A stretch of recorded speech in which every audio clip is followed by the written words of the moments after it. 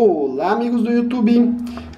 Gente, inscrevam-se no canal, deem aquele likezinho amigo e eu agradeço. Dê uma olhadinha na playlist ventilador, ventiladores do canal, com mais de 620 vídeos só sobre ventiladores e algum deles pode ser útil para vocês. E aí, gente, o aquecedor não esquenta, não sai água. Como é que pode isso, né? Não, não esquenta, não sai água, não liga. É estranho, mas acontece, aconteceu comigo. E o problema é a, a falta de pressão da caixa d'água. Você não pode colocar muita pressão porque ele estraga o diafragma dele lá dentro, alguma coisa assim, ele, ele começa a vazar. Se você liga ele na, na água da rua direto, ele vaza. Se você liga na água da caixa, ele não liga. É uma complicação, não é, gente? É, é, é complicado esse negócio. Ele não esquenta, não liga, não sai água. Ai, ai, ai. É, então, eu instalei aqui. Falei, ô, oh, legal, né? Aí e liga, e liga, e liga e nada de esquentar, e nada de esquentar. Só que a, a vazão da água tinha reduzido demais. Eu falei, mas está estranho isso, não era para reduzir tanto assim, né? É, mas, tudo bem.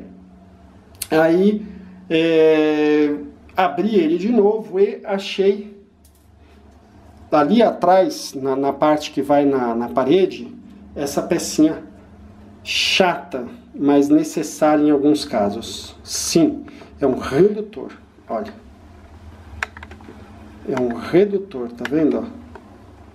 Esse redutor, se você tem muita pressão de água, mesmo na caixa, às vezes é uma caixa alta, você tem que deixar ele lá, senão vai estragar. Se não, você tem que tirar, senão não não, não faz pressão e daí ele nem liga e, consequentemente, não esquenta. Vocês entenderam, gente? Então, o grande vilão, muitas vezes, é esse redutor. É só puxar ele com a unha mesmo assim, ó, que ele sai, ele fica lá atrás, tá? No encaixezinho da parede tem que desrosquear da parede e tirar. Feito isso, aí você fala, fiz isso e não adiantou. E agora? Aí você pega um balde, coloca embaixo do chuveiro para reciclar a água de preferência.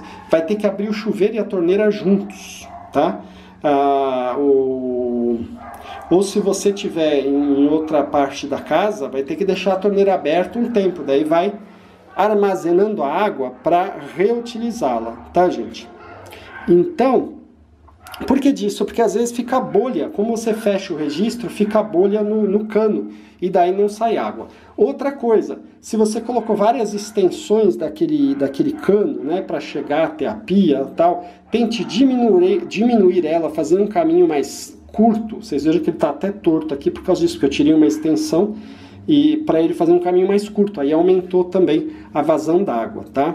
Mas realmente, realmente, a princípio, o que você vai encontrar na sua frente é esse redutor aqui atrapalhando em muito, tá?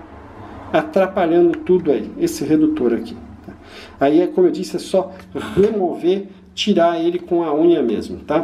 Agora, outro detalhe, se você está é, tá usando a água da rua, e, e, aí não, aí você deixa o redutor, tá? Porque se passar muita pressão, ela estraga também. Aí se ele não estiver esquentando, podem ser outros motivos. E lógico, você não pode deixar no desligado aqui, você coloca no 1, no 2, né? Detalhe também, se tiver muita pressão, ele não vai esquentar. Daí você fecha bastante a torneira, vai fechando, fechando, daí ele começa a esquentar, tá, gente? Porque ele não esquenta muito, muito assim não. Então se tiver muita pressão, parece que ele nem está esquentando, mas é porque está com muita pressão, saindo muita água, ele não dá conta de esquentar. Mas então é isso aí, amigos, eu espero que o vídeo seja útil. Deem aquele likezinho amigo para ajudar o canal, inscrevam-se no canal. Depois de inscritos, você clica no sininho ao lado de, do ventiladores para receber novos vídeos. Compartilhe o vídeo nas redes sociais e eu agradeço. Dê uma olhadinha na playlist Ventiladores do canal, com mais de 620 vídeos só sobre ventiladores e algum deles pode ser útil para vocês. É isso aí, amigos, e até mais!